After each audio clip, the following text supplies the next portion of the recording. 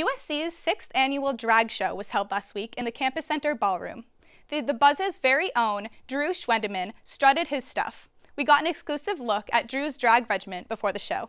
I'm performing Rihanna's Shut Up and Drive. You know, it's a classic. It's a nice throwback song. Foundation. I don't really know what else I need. Does this make me look pale? I don't know how to contour. But she knows how to contour. I don't know what this is.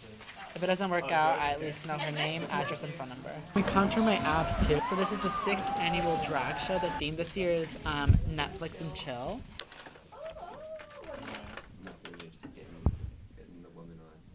If you're not, if you're like not close to done, you should move this downstairs. Your cheeks are on point. That's how you get an extra minute. Like thick eyebrows, right? All right. Well, then we have to go down. We're moving downstairs. Follow me. It's go time.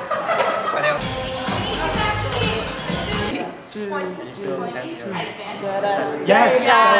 Just gonna like, and like you can even